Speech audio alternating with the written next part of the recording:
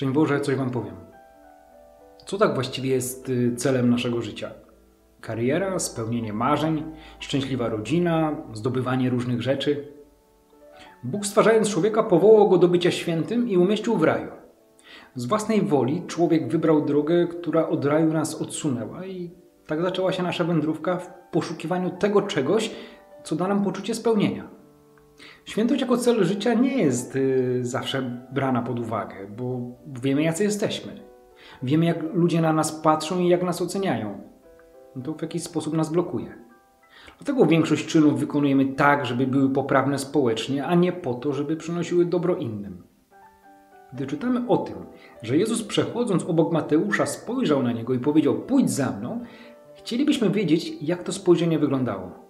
Co w nim było takiego przekonującego, że nagle ten celnik porzuca wszystko i zmienia swoje życie? Albo gdy Jezus siedzi przy stole z celnikami i grzesznikami, to dlaczego właśnie z nimi, a nie z tymi, co są pobożni? Sprawa wygląda w miarę prosto. Sprawiedliwy nie widzi w sobie nic złego. Grzesznik nie widzi możliwości, żeby się zmienić. I właśnie to spojrzenie Jezusa zmienia wszystko. Miałem uczniów, którzy zostali sklasyfikowani jako trudne przypadki. Cała klasa. Jakakolwiek uwaga na ich temat to tylko narzekanie, że się nie uczą, że nie słuchają, nic nie robią. Tylko może trzeba na nich spojrzeć inaczej i przedrzeć się przez skorupkę ich słabości, by dotrzeć do tego, co w nich dobre. Zacząć doceniać ich małe starania, proste słowa, drobne sukcesy, a i oni zaczną patrzeć na siebie inaczej.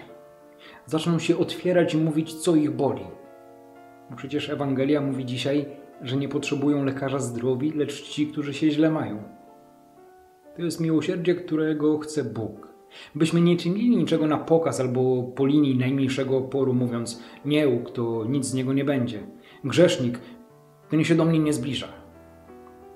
Nie jest zatem ważne, ile dajemy, ale przede wszystkim, ile włożyliśmy w to serca. Czy wyczerpaliśmy wszystkie środki, aby wskazać właściwy kierunek?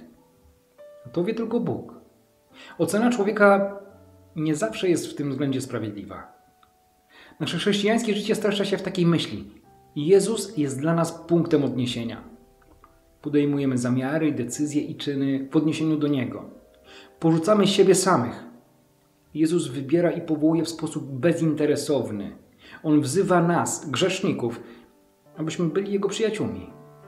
Czyni to poprzez swoje miłosierdzie i przebaczenie, które oferuje nam Jego otwarte, serdeczne serce. To nie wstyd uznać, że ja również potrzebuję pomocy. To stanięcie w prawdzie, która będzie skutkować coraz pełniejszym upodobnieniem się do Jezusa. Nie potrzebują lekarza zdrowi, lecz ci, którzy się źle mają. Idźcie i starajcie się zrozumieć, co znaczy co raczej miłosierdzia niż ofiary.